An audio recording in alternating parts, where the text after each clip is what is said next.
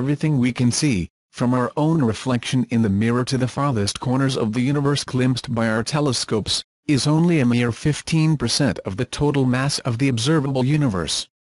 The remaining 85% is made up of that mysterious substance known as dark matter, and we do not know exactly what it is.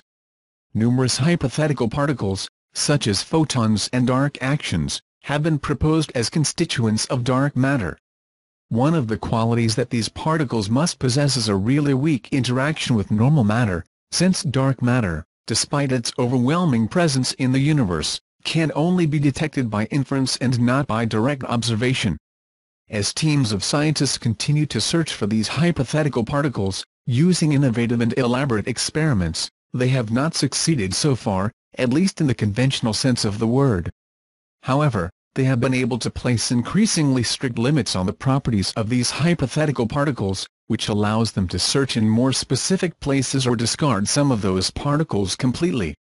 The National Laboratory Lawrence Berkeley of the Department of Energy said on November 8 that a recent experiment had greatly restricted the range of possibilities for the existence of dark photons. And researchers at the University of Sussex, UK, announced on Wednesday they had refuted the existence of a specific type of axion in a wide range of possible masses. The data that the Sussex researchers were analyzing were obtained from an experiment at the Paul Scherrer Institute in Switzerland, and previously at the Institut Laue Langevin in Grenoble, France.